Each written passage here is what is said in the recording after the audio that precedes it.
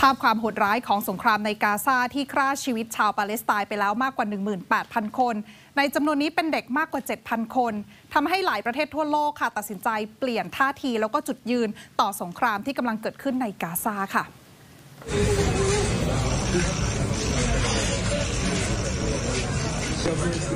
อุมเซยาดร่ำไห้ขณะกอดร่างของหลานชายวัยเพียงหนึ่งเดือนนะคะ ภายในโรงพยาบาลในราฟาทางตอนใต้ของกาซา โดยเธอระบุเขาว่าการโจมตีของอิสราเอลทำให้หลานชายและบุตรสาวของเธอเสียชีวิต ร่างไร้วิญญาณของทารกน้อยคนนี้เป็นเพียงแค่หนึ่งในความสูญเสียที่พบเห็นได้ทุกวันในกาซา นับตั้งแต่การสู้รบระหว่างอิสราเอลกับฮามาสเปิดฉากขึ้นเมื่อ 2 เดือนก่อนนะคะองค์การยูนิเซฟระบุเขาว่ากาซาคือสถานที่ที่อันตรายที่สุดในโลกสำหรับเด็กๆ เพราะนอกจากจะต้องแบกรับความเสี่ยงจากการโจมตีแล้ว ยังต้องตกอยู่ท่ามกลางวิกฤตมนุษยธรรมครั้งใหญ่ที่สุดครั้งหนึ่งของโลกด้วยค่ะ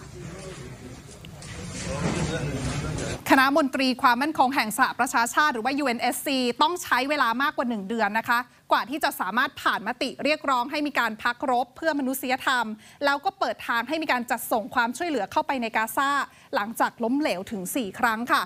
การผ่านมติดังกล่าวนะเกิดขึ้นหลังจากกระแสกดดันในเวทีโลกเนี่ยรุนแรงมากขึ้นค่ะ โดยเฉพาะนับตั้งแต่อิสราเอลส่งทหารบุกตอนเหนือของกาซาซึ่งเกิดขึ้น พร้อมกับที่สมัชชาสหประชาชาติ หรือว่า UNGA ผ่านมติด้วยคะแนน 120 เสียงนะคะ เรียกร้องให้มีการพักรบทันที โดยสหรัฐเป็นหนึ่งใน 14 ชาติที่คัดค้านมตินี้ ขณะที่อีก 45 ชาติงดออกเสียงนะคะ แต่จุดที่น่าสนใจคุณผู้ชมก็คือผลการลงมติใน UNGA เมื่อไม่กี่ชั่วโมงที่ผ่านมาค่ะสมาชิก 153 ประเทศจากทั้งหมด 193 ประเทศทั่วโลก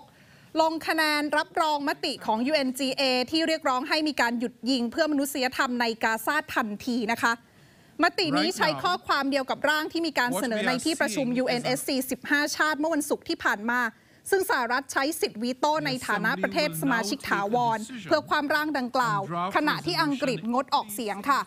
โดยผลการลงคะแนนในวงประชุม UNGA ล่าสุดรอบนี้ที่ฝ่ายสนับสนุนชนะไปแบบมากกว่า 3 ใน 4 หลังจากมีประเทศที่คัดค้านเพียง 10 ประเทศ และงดออกเสียง 23 ประเทศ สะท้อนถึงแรงกดดันที่เพิ่มมากขึ้น ต่อปฏิบัติการทางทหารของอิสราเอลในกาซา และสั่นคลอนอิทธิพลของสหรัฐในการผลักดันประเด็นนี้บนเวทีโลกค่ะ Resolution A stroke E กระแสกดดันอิสราเอลรวมไปถึงสหรัฐที่เพิ่มมากขึ้นเรื่อยๆ ไม่ได้ถูกสะท้อนผ่านเวทีประชุมระหว่างประเทศเท่านั้นนะคะ แต่ว่าในช่วง 2 เดือนที่ผ่านมาคุณผู้ชมหลายชาติ ใช้เครื่องมือทางการทูตแบบทวิภาคีค่ะ เพื่อแสดงจุดยืนต่อต้านการโจมตีกาซานะคะ